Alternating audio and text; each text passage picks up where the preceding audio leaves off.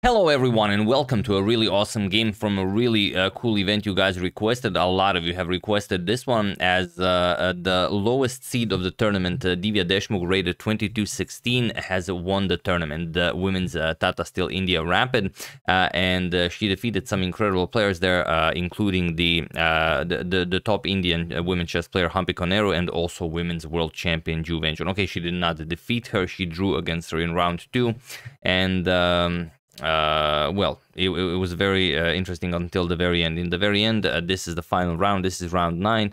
So Divya has to defeat Humpy uh, in order to at least contest for the first place. And um, uh, Ju was facing Anna Ushenina. And if Ju Wenjun wins, uh, she will also be able to um, sort of tie for first with, with, the Divya. So let's see what happened in this one.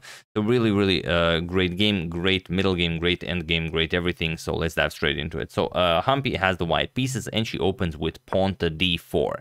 Uh, we have knight to f6, pawn to c4, e6, and knight to f3. We have pawn to b6. Divya goes for the queen's Indian defense. Uh, sorry about that uh, and pawn to g3. You will want to counter the uh, fianchetto of the light square bishop with a fianchetto of the light square bishop. So bishop to a6, the Nimzowitsch uh, variation, also known as the uh, exaggerated fianchetto. We have knight b to d2 and pawn to c5. So everything um, uh, already seen before, nothing new here. Bishop g2, knight to c6, and d captures on c5. Now we have b captures on c5, and we have castles. Uh, bishop to e7, also preparing to castle. Pawn to b3, uh, Humpy wants to fianchetto the dark square bishop as well. Castles and bishop to b2. We have pawn to d5 striking in the center. C captures on d5, e captures, uh, and now there is a game where rook to e1 was played, but here we have the immediate rook to c1, and it is now as of move 12 that we have a completely new game. Uh, so Divya continues development. We have queen to b6. Now the rooks are connected and ready to be put on uh, useful files, and rook to e1, uh, getting off of this diagonal. So now you can advance the e pawn and you would very much like to play pawn to e4, and that's why Divya stops it. He play, she plays knight to e4.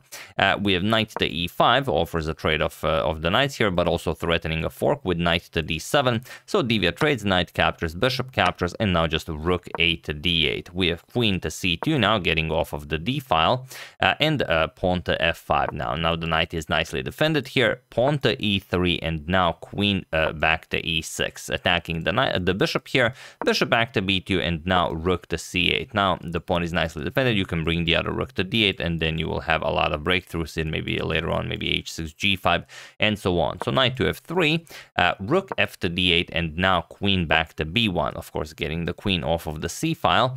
Uh, bishop to f6, and now uh, queen to a1, preparing to uh, bring the knight over to e5 if uh, Divya does not trade bishops. And she goes king to f7. Uh, and this king to f7 move is, when I first saw the game, I thought it was a draw offering, uh, but you'll see just what happens here. Now you could choose between some moves, bishop captures an f6 or pawn to a3. Uh, uh, Humpy goes for knight to e5 with check, and Divya just goes back, king to g8. We have knight back to f3, king to f7, repeating the position, but now Humpy uh, stops the re repetition. She plays pawn to h4, pawn to h6, and now again knight to e5 with check, king to g8, knight to f3, king to f7 and knight to e5 check, king to g8, knight to f3, and here if she, if she repeats with king to f7, uh, it will be a draw by threefold repetition. Uh, but uh, regardless of the rating uh, difference, she goes uh, uh, she goes for continuing play. Bishop captures on b2, and okay, queen captures. And now, how do you continue this? Well, you could try to remaneuver the rooks, or maybe try and get some sort of a breakthrough in. But she goes for pawn to g5, and now um, it, it's not the most precise move, but it really requires you to um, think in a in, in a tough position. And the strongest move, as it often is, is pawn to b4 here. It was not played in the game, but just to show you uh, now, if you play pawn to c4, uh, you will, uh, uh, well, black will never be able to get this d4 move, and you can even play b5, bishop to b7, even a4 in, and you can get a knight to d4, you can get a knight to e5, also you can get a queen to d4, queen to e5, but uh, most importantly, black can never execute d4.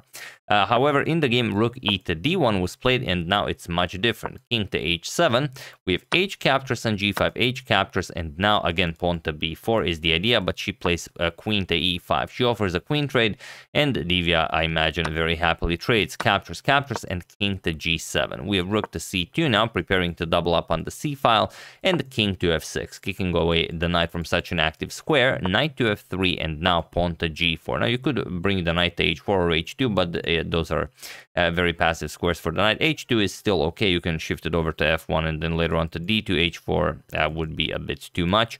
Uh, instead she goes knight to e1, and now we have pawn to c4. Again, uh, not the most precise, but this is rapid game and they are both below a minute. Uh, d4 is uh, straight up winning. Uh, point is that after pawn to d4, uh, there's not all that much you can do to counter uh, black. For example, if pawn captures, pawn captures, you're going to play rook captures and now bishop captures. And this pawn is now incredible. The rook is already behind it. The, the bishop is very active. If you capture, then you just fix black's pawn structure and improve the central presence. after pawn to c4, however, it's a little bit different because now you could capture on e4. And now, for example, bishop captures on e4, f captures and knight to g2. Again, you can never uh, uh, push this pawn uh, all the way to d4, and you don't really uh, have all that much here. If you play c captures on b3, you can just play rook captures and c8. Now, it is similar to what happened in the game, but here bishop to f1 was played, and now comes king to e5, rook d to c1, doubling up on the c file, and now knight to g5, with uh, the option of going knight to f3, knight to h3, bishop to e2, and now c captures on b3. And here you absolutely must play a, a captures on b3. But in the game, Humpy decided to trade rooks first. She played rook captures on c8. And now I'm pretty sure even without pausing the video, you can figure out how to uh, win this position. There's only one move, uh, and I'm sure you've already found it, even without pausing. And the move, of course, is uh, rook captures on c8, rook captures on c8. But now, not bishop captures on c8. We, of course, throw in the in-between move, b captures on a2. And now, look at this. The rook is hanging, the bishop is hanging, and also there's the threat of a1 queen. So you have to do, you know, uh, something to minimize casualties, you have to play rook to c1 to cover the queening square. But now bishop captures on e2, rook to a1 goes after the pawn. Uh, sorry, uh, this was not played. This is what would happen if you go rook back to c1. And now bishop to c4 would uh, stop uh, you from ever capturing that. And this rook is now pretty much out of the game. So uh, Humpy decided to go uh, not, not go back with rook to c1. She played rook to e8 with check. And after king to d6, now she just played knight to c2. She defended the a1 square with the knight. But of course, the bishop is still gone. So bishop captures on e2, rook to a8, and now knight to f3 with check. We have king to h1 and now knight to e1. You could also play the immediate a6 uh, but first she goes for knight to e1, the idea being that if knight captures, you can just bring a queen into the game. Uh, but now knight to a1. Of course, uh, if, if you go for the pawn and try to give up the knight for two pawns, it's not all that great. If captures captures, uh, the uh, you can uh, simply defend the knight, so the, the, the, two pieces will beat a rook always. so instead, knight to a1 was tried here, but now comes pawn to a6. Now the pawn is nicely defended. Rook to c8, and now bishop to d3. And now look at this beautiful maneuver. Rook to c1, of course, defending the back rank and attacking the knight here, knight to c2. And that's all there is. Now, the, the problem is if you play king to g2, there's knight captures on a1, and after rook captures bishop to b1, uh, forever, you know, enclosing the, the rook in his tomb on, on a1, uh, and the king will simply go uh, c5, b4, b3, b2, and uh, gobble up the rook, and then uh, promote this pawn to a queen. So, of course, you can't do that. After knight c2, rook captures on c2 was played, but it doesn't help um, uh, Humpy all that much. Bishop captures, knight captures, and now just king to c5, king to g2, king to c4, and he was in this position, unmoved 51 that uh, Humpy Koneru resigned the game uh, as there is nothing more to be done here. After you play a few more moves, king f1, of course king comes to c3 and after knight a1, king b, b2 will uh, eliminate the knight and then you just promote your pawn to a queen. So uh, masterful play by uh, by the uh, bottom seed Divya Deshmukh, like I said, 22-16 and um, well there are 250, 300, 300 rating points higher rated players here in this tournament. So absolutely incredible that she was able to win it. And uh, here are all of her results. So she did not go undefeated. She lost one game to Polina Shuvalova, who obviously played a spectacular tournament as uh, even the um, reigning world champion Ju Wenjun could not defeat her in the final round. She only got a draw, and that's why uh, Divya got first place in this tournament, whereas uh, um, uh, women's world champion Ju Wenjun got second place with six and a half. And you can see that she won 91 rating point for this one event, which is, I mean, absolutely incredible.